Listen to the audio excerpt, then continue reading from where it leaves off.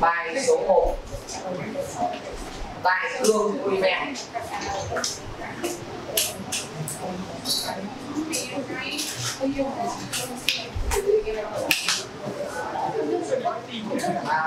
nào bài số 1 đại cương polymer ở trong bài số 1 đại cương polymer ta sẽ có một la mã định nghĩa polymer là gì?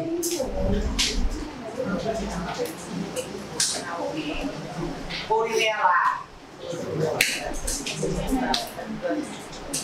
hợp chất hữu cơ, cao, phân tử. Nó có từ vô lớn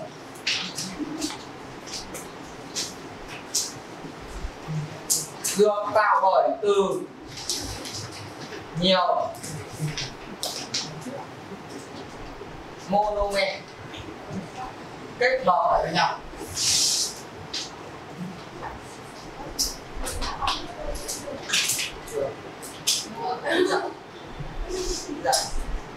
Ví dụ CH2 mối đôi CH2 nhiệt độ áp suất xúc tác thì tạo thành CH2 CH2 tất cả giờ cái này nó được một hình học, đúng không? Thì mình có này cái anh to phạt này cái cụm này, thì được gọi là cô ly mẹ. Một phân tử cái chất này thì được gọi là mô, nô, mẹ. N này được gọi là hệ số polymer hóa. Hay còn có một cái tên nữa là số mắt xích. Số mắt xích.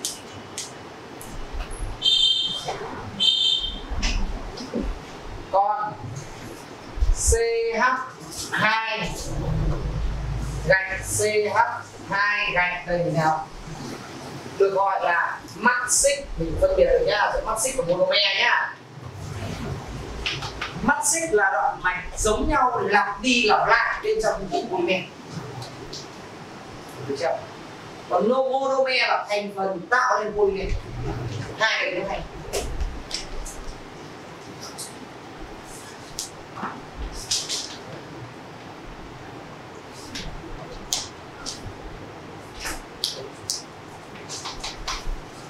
phân loại polymer phần này anh hỏi nhất. Polymer có ba cách phân loại. Cái phân loại thứ nhất là dựa vào cấu trúc.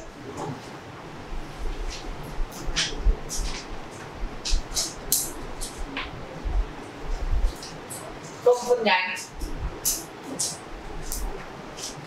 Không phân nhánh. Phân nhánh.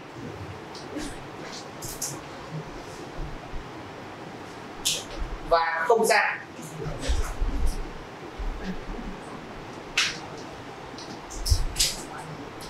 Các polymer mà không phân nhánh bao gồm PE, PP, PVC, rất nhiều, amylose, cellulose,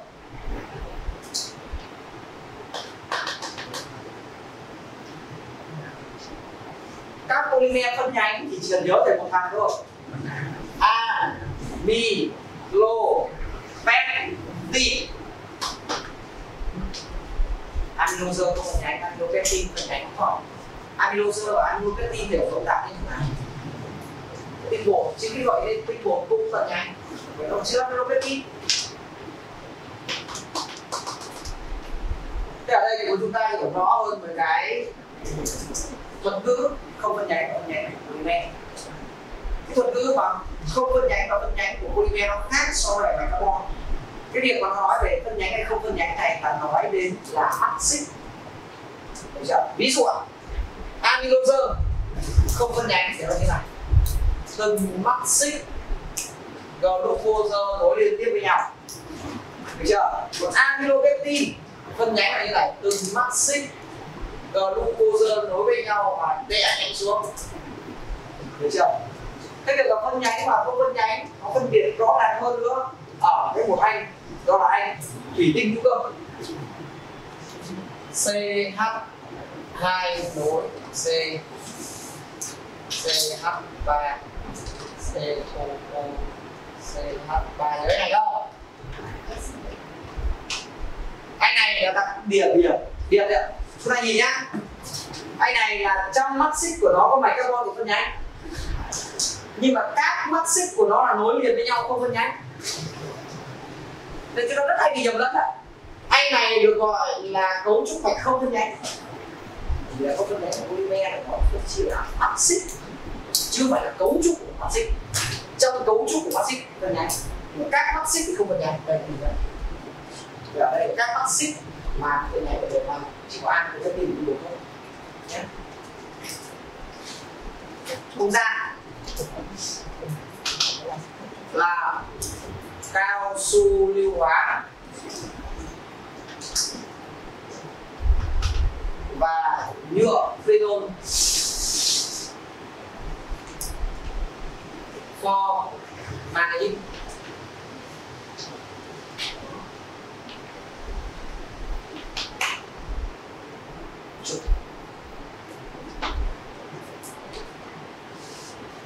ai hỏi? Trong các phần phân loại hay bị hỏi nhiều này, thì cái phần loại trong ba cái phân loại nó lại có một cái là hay bị hỏi nhiều nhất trong ba loại đấy. Là nguồn gốc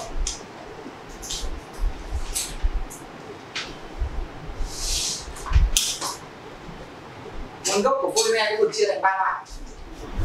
Và thứ nhất là tự nhiên, hay là polymer thiên nhiên. Thiên nhiên là các polymer có sẵn trong tự nhiên.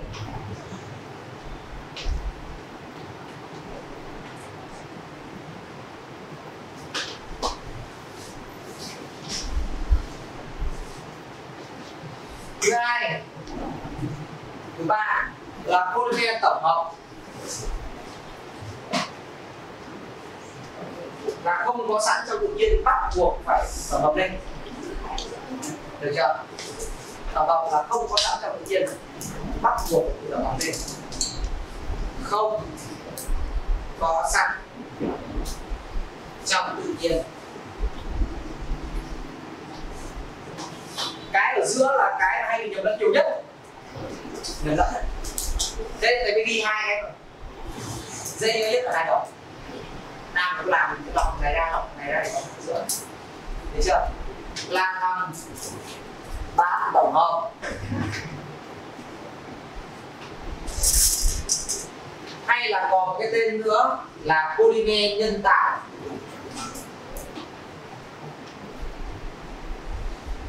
Là sử dụng nguyên liệu thiên nhiên. Nguyên liệu tự nhiên cộng kết hợp với phương pháp của con người. Thì tạo nên bản thân. Ví dụ thiên nhiên thì gồm có phân tạng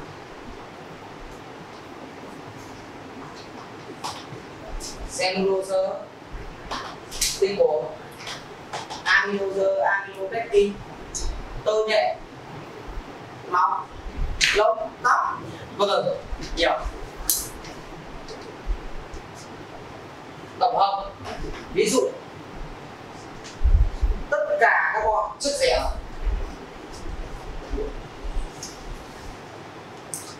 tất cả các bọn ni lông. Và tất cả các bọn cao su nhìn nhiều lắm, nhưng mà thuộc thì cần thuộc cái hai thằng nữa hai thằng như vậy chỉ có hai thằng nữa được đó là tơ visco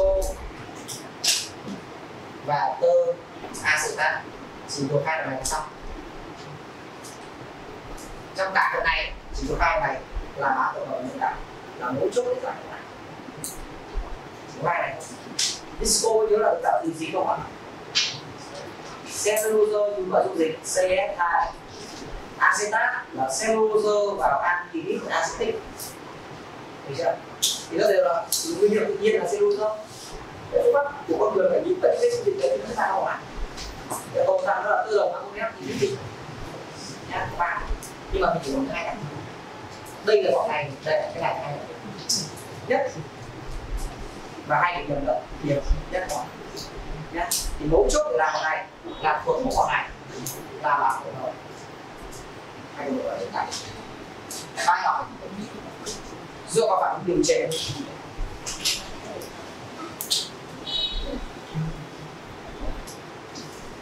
ba nhỏ dựa vào phản ứng điều chế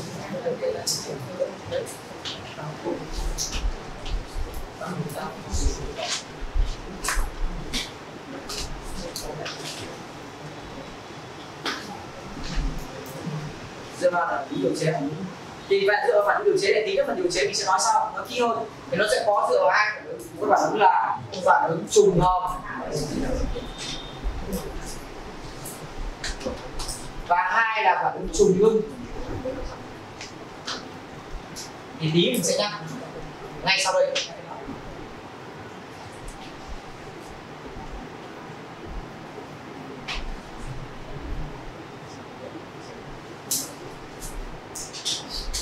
tính chất gì hôm nay người ta đi như này là lọc cái hiện tượng này không có tiếng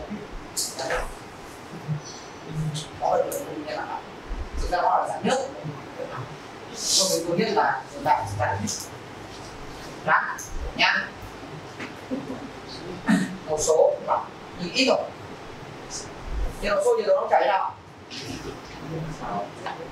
cao rất là đó cao rất cao rất đứa nào cao đứa thấp cao tại sao Đừng nhiều đứa bảo thấp bởi vì bây giờ em vứt cái tờ polymer ra giữa đường không hơn không độ C thôi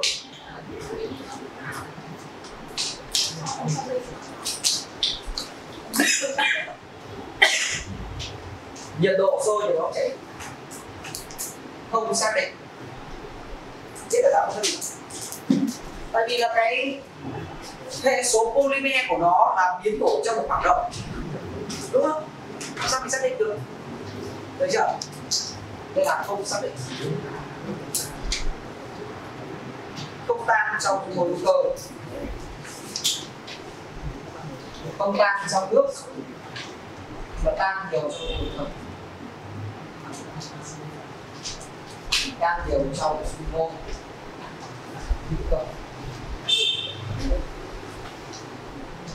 không tan trong nước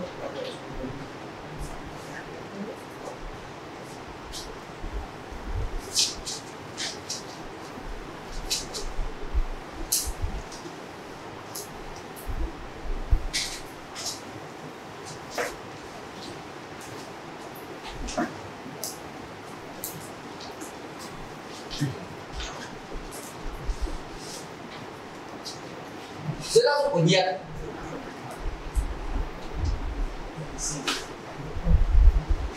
dưới tác dụng của nhiệt polymer được chia thành hai hướng xử lý như sau ban đầu polymer dạng lỏng sẽ có một số loại polymer trở thành dạng lỏng một số loại polymer phân hủy ví dụ như túi giấy bóng này mà đốt phát này nó chuyển thành dạng lỏng đúng không mày đốt thử rồi để nguội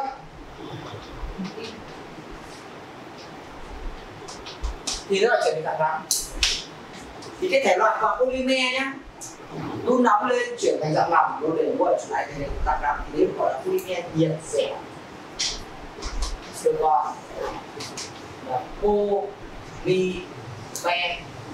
nhiệt dẻo. Còn nếu cái thể loại mà đun nóng lên, phân hủy ngay thì được gọi là polymer nhiệt rắn.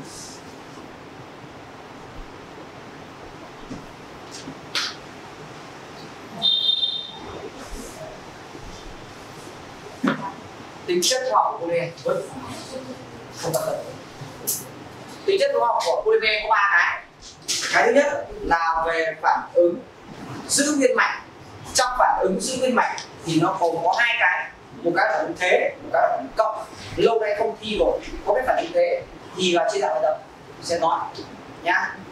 Thứ hai là phản ứng cách mạch phản cách mạch là phản ứng phân hủy mạnh nó gồm là phản thủy phân trong cái môi trường à, mà kia môi trường axit Thấy là ví dụ đơn giản hơn áo chúng ta mà lâu lâu ở bên trong uh, bột giặt thì nó sẽ bị phân hủy chúng ta sẽ gửi đến luôn luôn đúng chưa? Em nó khoảng một tuần áo.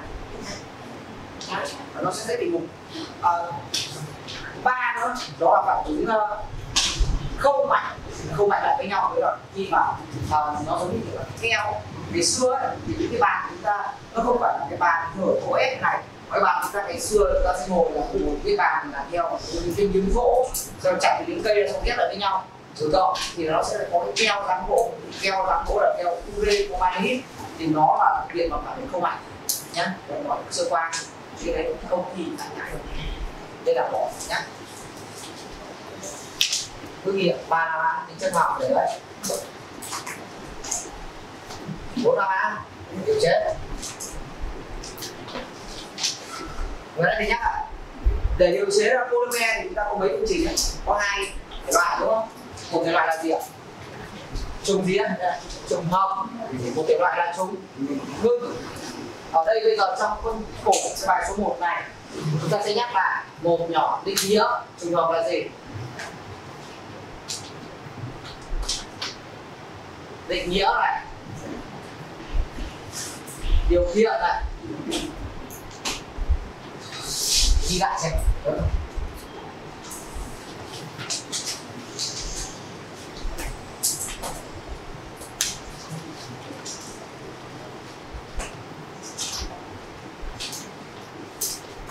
Hai nhỏ là trùng ngưng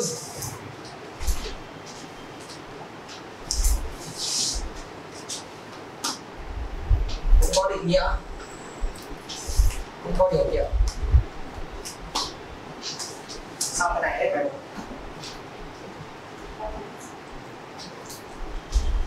Xong sang bài hai hai người tập hết bài hai, hết luôn chung với em buổi sau rồi sao chúng mình học. Ok và đây là phải cắt những cái đường dài ấy nhá. Cắt hết những cái đường dài mắt học là cổ vũ lên thôi bọn này sẽ học online có em học chỉ để cổ vũ lên thôi thì em không nhớ gì đâu định nghĩa trùng hợp. Là các monomer giống nhau. Kết hợp lại để tạo thành một polymer. Nhiều thành một định nghĩa của trung ngưng monomer cấu trúc tương đồng.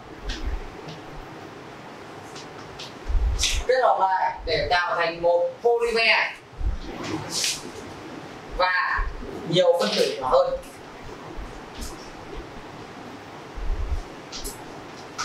Ví dụ như đường ở nước.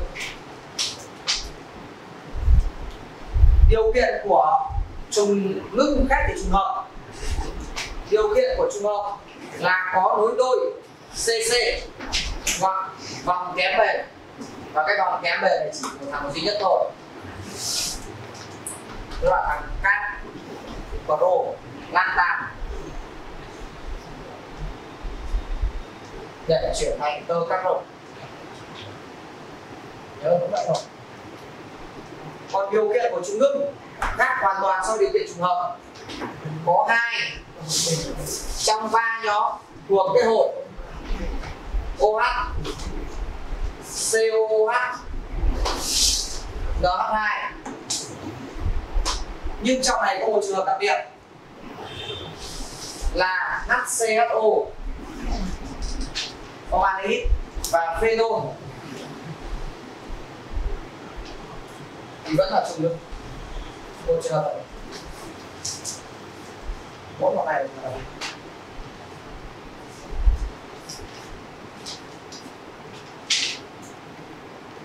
Đấy, bình thường là bình thường nó phải là hoặc là hai nhóm hot hoặc hai nhóm siêu hot hoặc hai nhóm lớn hai hoặc một nhóm hot một nhóm siêu hot một nhóm siêu hot một nhóm hai năm này chỉ có một nhóm siêu hot một nhóm hot được chưa vấn đề chỉ là bản tin nhé đó gọi là chủ vương này là chi tiết địa chất với lại thành của thần ở đây chúng ta đây là chủ vương đương sau này đi cuối cùng thì không bộ sai bộ công việc của em.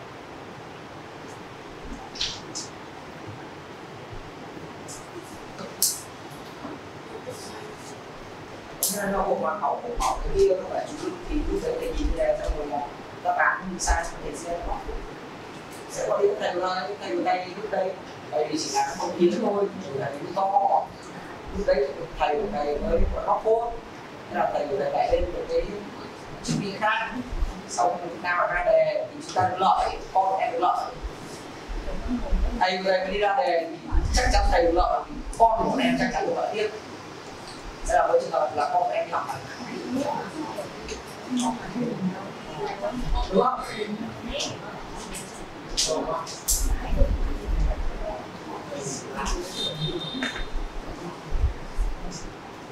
Dĩ nhiên cái bài số 1 chỉ là bài đại cương là bài khái quát. Chắc tâm của bài số 1 là cái chung nguồn gốc này nhá. Nhớ chưa? Nguồn gốc phải thầy dạy này nguồn gốc trọng tâm của nó này. Thiên nhiên là cái tên là biết. Đặt cái tên là biết, nó có thuộc thể loại thiên nhiên hay không? Đúng không? Thứ hai là bán tổng hợp hay còn được gọi là nhân tạo cái đấy hay bị nhầm. Cái biết tại sao hai bị nhầm này không? Thế bạn thì hỏi là nhân tạo nhân tạo trong đạo lý nhân là người tạo người tạo ra. Nhân tạo do con người tạo ra. Thì càng ta hết tơ do một càng xu hướng con người tạo ra là chết. Thế để mà không bị sai cái chỗ mà nhân tạo đấy thì đầu tiên là nhắc đến là nhớ nhân tạo là nhớ, nhớ tự nhiên à. Có tự nhiên thì phải có tổng hợp. Ở giữa tự nhiên và tổng hợp là bán tổng hợp bán của tổng hợp. Được chưa? Thế vậy là lúc đấy là bán tổng hợp chính là nhân tạo sợi luận vậy là nhân tạo thì có gì visco acetat hai là vô đúng là bán kinh nghiệm làm như vậy. Cứ đi đúng là con đường đấy chắc chắn tổ đúng bài số hai này. Vật liệu polymer. Xong bài này là vậy trong bài này yêu cầu chúng ta phải học được 6 cộng 5 cộng 4 15 đều công trình này đây là con gì to nhất mà em phải nhìn gì trên không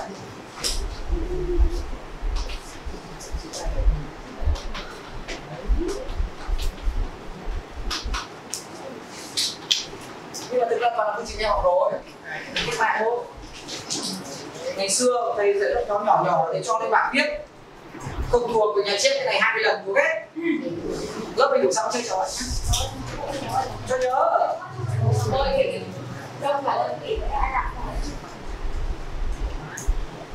Có hai cái vật liệu, có ba cái vật liệu. Thứ nhất, chất dẻo là chất có tính dẻo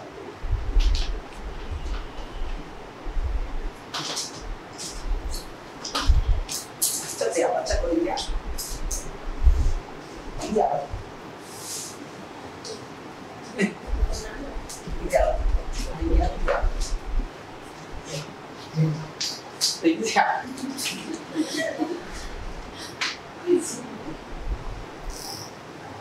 em ăn kẹo kéo. Rồi gì người ta làm kéo.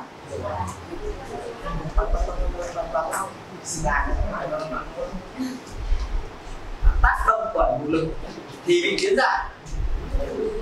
Sau đó lực đấy không tác dụng nữa, có quay trở lại trạng thái ban đầu. Không tính dẻo là tính khi tác dụng bởi một lực thì mình biến dạng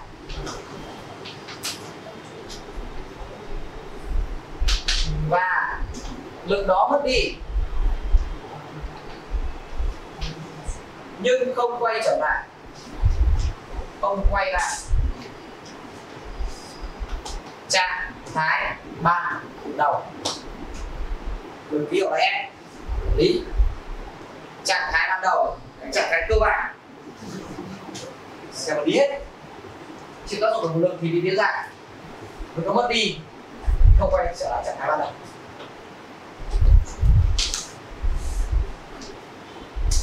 Chúng ta sẽ có 6 chất dịch sẻ lần nữa. Thứ nhất, P E. Bốn ba viết trình nhé. Đại học lớp 11 rồi không biết đâu tôi biết đi chú họ bạn nhất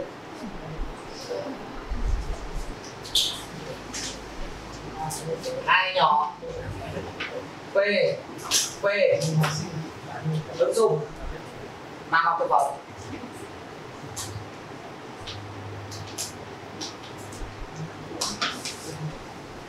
Ba nhỏ. P P c. Bọc dây điện.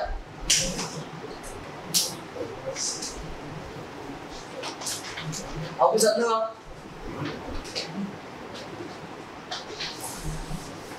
thế là đang phải chú ý sau này là về thoát hết rồi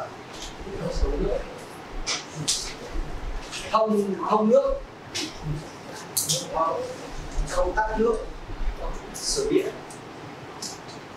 Anh xử điều hòa may mắn Thầy cô đơn đâu rồi bốn tại nó hiện lên trên trên facebook mà video này đâu mất mình xem thì nhiều Facebook mới sắp không đấy. rất ít xem. Gần như không xem luôn. Đến lúc mà lần đầu tiên bật lên tại như cái đấy nó là đang lúc trẻ có gửi mùi cô đơn của từng cái Facebook này cả nếu không gửi mùi cô đơn thì facebook của thầy nó phải có chức năng hẹn hò chứ Facebook thầy không có chức năng hẹn hò đó Thế ra cái vấn đề không có chức năng hẹn hò không hiểu sao nhá thầy qua 18 tuổi để học để đúng tuổi. Bật cho xem. Là không có gì đâu. À, bọn em ở trên 18 tuổi chỉnh 18 tuổi là không ở đây bọn em chỉnh là được nhưng mà thầy có được đó thầy có đó. Từ lúc bắt đầu thì chúng ta có. đâu bốn định viết thư cho mình cuối cùng thì chắc mình đọc. Không hiểu luôn không biết tại sao. Bốn ạ. PS P gạch S là cái bên này em ạ PS là hộp nhựa.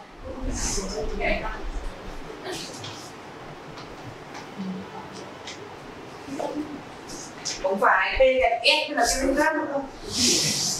Cái này học rồi, em học rồi đấy. Năm nhỏ. CFC Teflon điện vật liệu chống gì? Phủ lớp lên cái chảo đấy. Mà ngày xưa còn có nhiều bên trong cái chiếc lọc này sáu thủy tinh hữu cơ.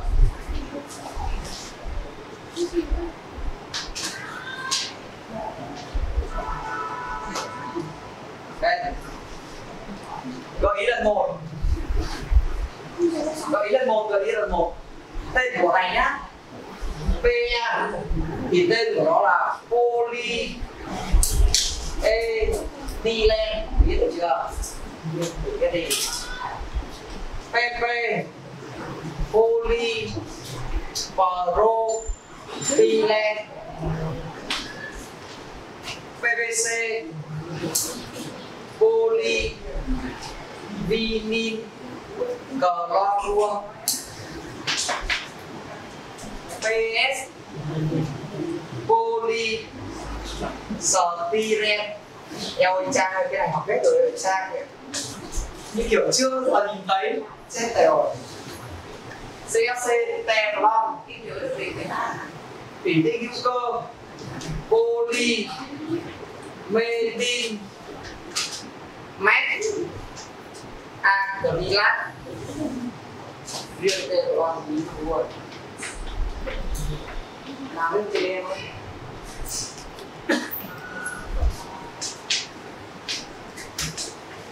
ba cái gì? Cái này mình nhớ hết đấy. Sao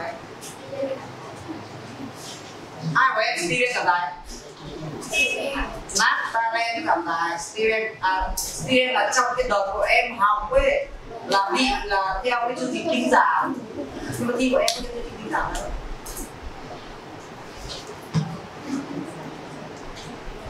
Natalen cảm tài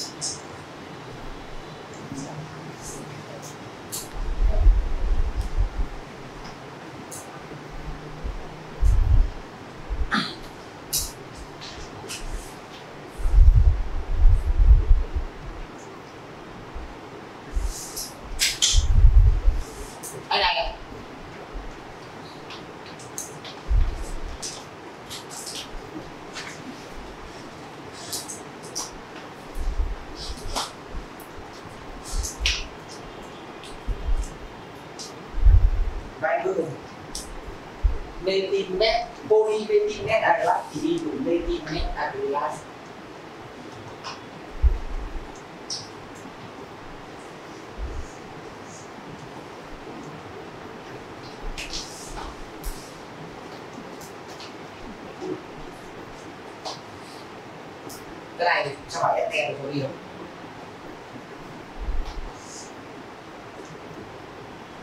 cái này coi như là kiểm tra cái đức cũ được em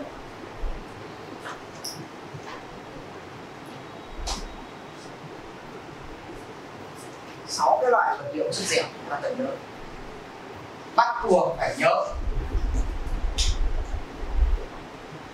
Không nhớ cái này thì thi đâu à thực ra không nhớ này phải chủ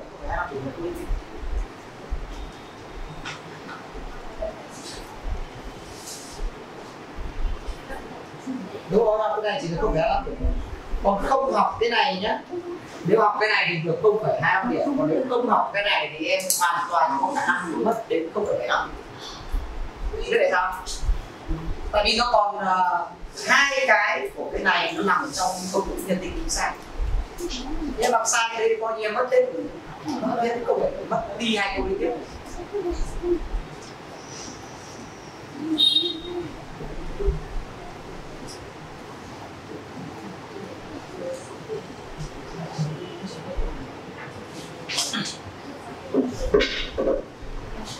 you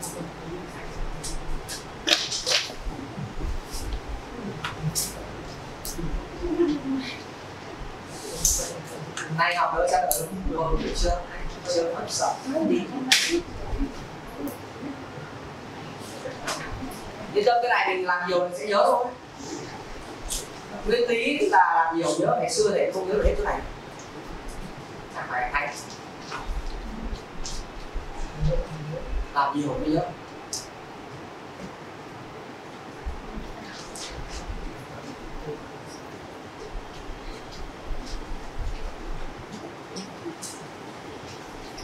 Xong chưa? Xong mình ra được hai nhỏ cơ ba cái cơ rồi còn cao su nữa thứ sau. Một đốt này thì là một cái đi đến rồi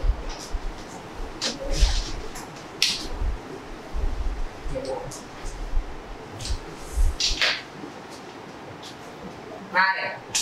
Cơ là vật liệu polymer.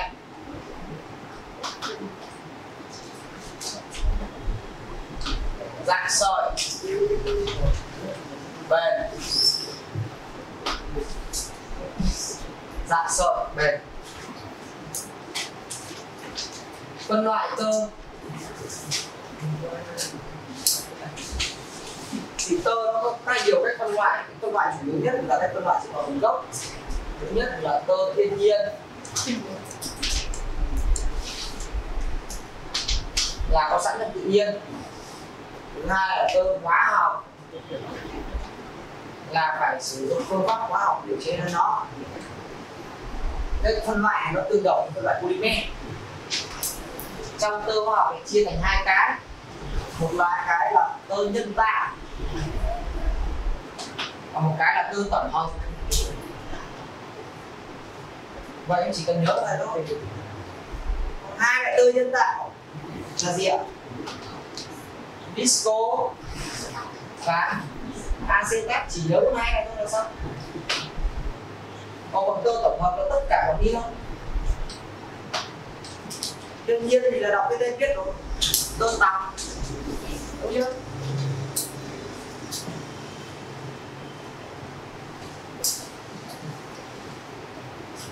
Là viết cho thầy các phương trình của tổng hợp các cơ.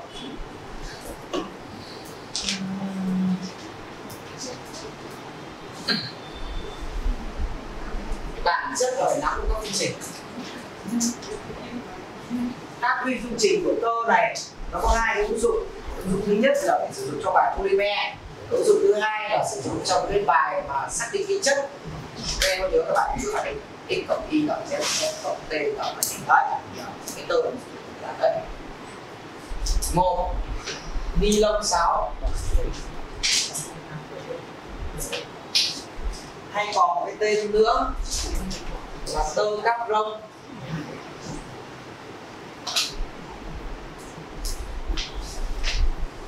Hai là ni lông vẩy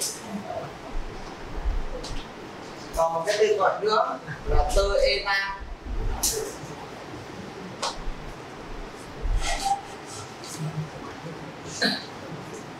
ba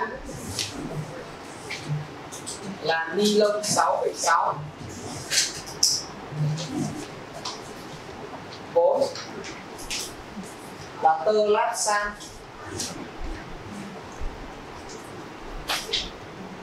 năm là tơ o long.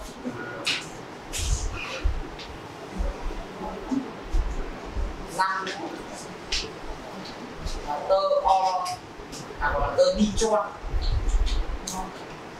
đi cho hay còn được gọi là o hay còn được gọi là poly acrylic đi chi con viết xong cái thời cho mình sau học tiếp sẽ học số 3 cao su không ghét ở đây Dạ. Đây để về nhà tôi viết này nhá.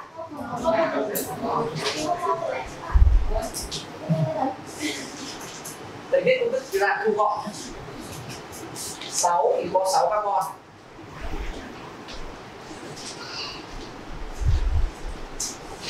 nhiệt độ, áp suất, xúc tác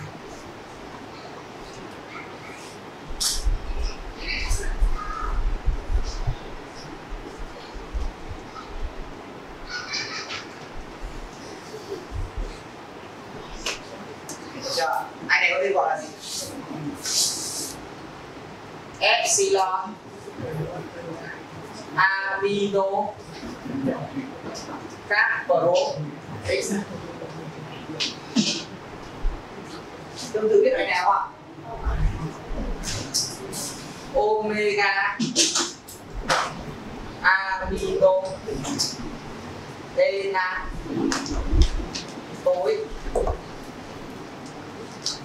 Anh này hơn anh này có con không ạ được sau là cái xem mình biết là cái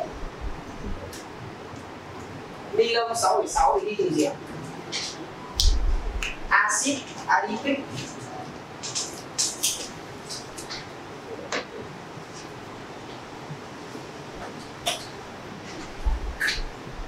Và hexamethylenediamine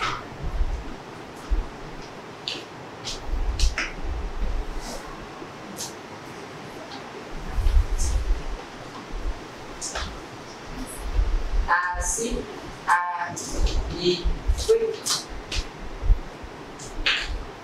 hexa methylen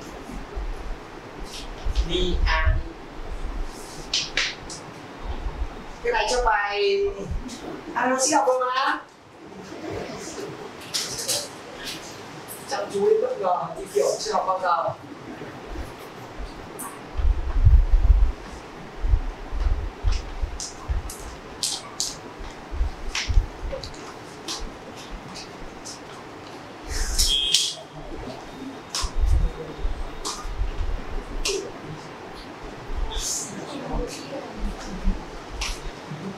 được không gì không ạ lát xa là đi từ ethylene glycol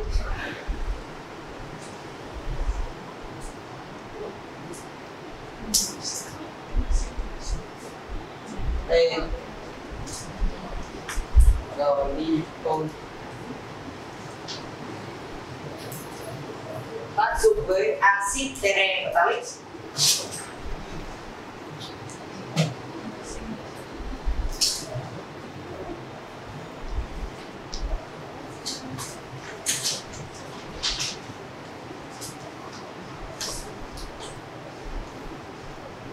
để tạo thành tơ lắc xanh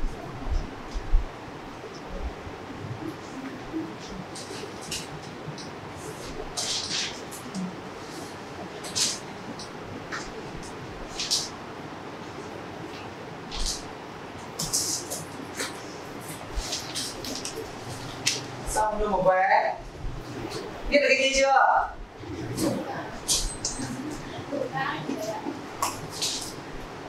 Anh này đi từ vay đi vitamin mua. Nhớ cái tên nhé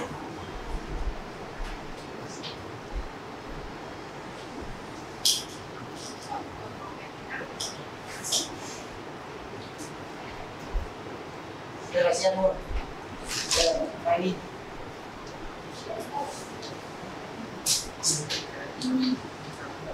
cái này mặc uh, áo được như này áo sinh nhật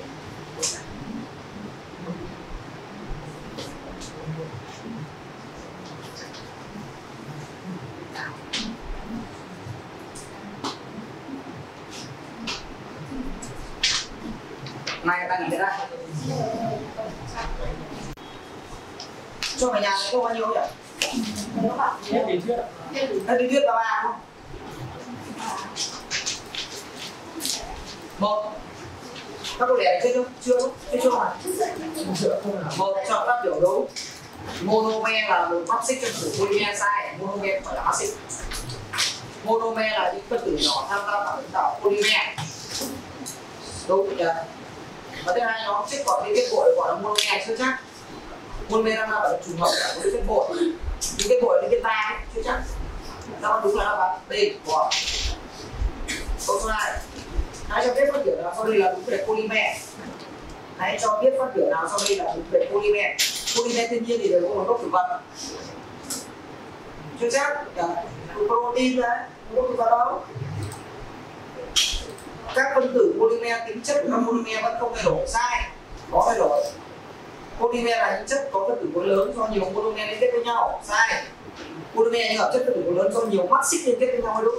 Monomer kết hợp với nhau được chưa? Mắt xích thì là liên kết. Đáp án đúng là đáp án c. Nếu mắt xích ba miêu tả không đúng về cấu trúc mạch của polymer là polyvinil acetat có dạng mạch phân nhánh. Cái này sai. Amylopectin cũng là dạng mạch phân nhánh, cái này đúng. Vậy đúng chúng ta là à đâu sai là a? Đúng là bcd bốn. Cho các polymer dãy các polymer tổng hợp. Đấy thì tổng hợp trong đầu nhớ là có thiên nhiên. Có bán tổng hợp thì thiên nhiên thì đáp án a có tinh bột loại, đáp án c có cellulose loại, đáp án b có cellulose loại, và đáp án đáp án c. Được chưa? Câu số 5 loại polymer nào dưới đây không có nguồn gốc là cellulose? Không có nguồn gốc là cellulose thì mình có là tơ. Visco à đâu, sorry ạ.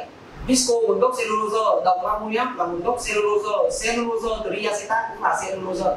Đáp án đúng chúng ta là đáp án a cao su una câu số 6 theo nguồn gốc thì polymer cho dưới đây cùng loại với polyethylene. Cùng loại là thế nào? Tơ tằm là nguồn gốc thiên nhiên.